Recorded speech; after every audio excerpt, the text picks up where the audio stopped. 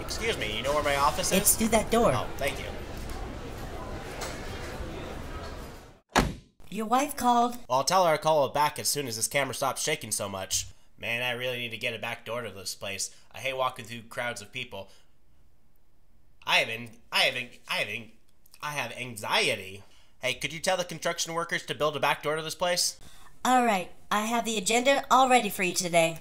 All right, let's hear it. Is that little uh, b- person Petey gonna be uh, coming for this meeting later today? I really like that little Petey. He's uh, uh, a chip off the old block, as I always like to say. So, uh, tell me what's on the agenda.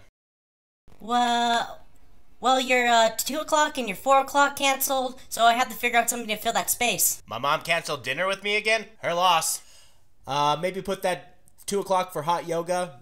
Oh wow, that's surprisingly healthy of you.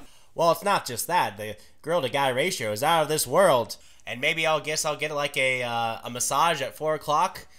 I don't need to eat anyways. I can eat later. Oh, by the way, did the president call me earlier this week? Um, I think you mean the president of that nonprofit.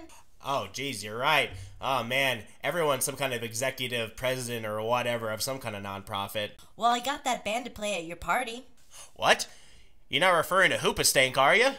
Uh, this is kind of awkward. Um, maybe we should talk about something else. Remember that vacation we took together in the Cayman Islands?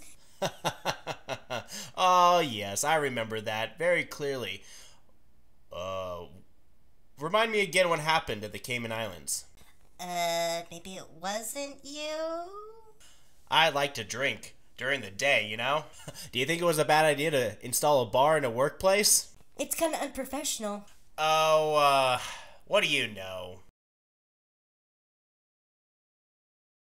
What was I saying again? You're about to just order lunch pretty soon. No, no. I'm just trying to figure out how to deal with this crippling depression. You know what I need? I need, um.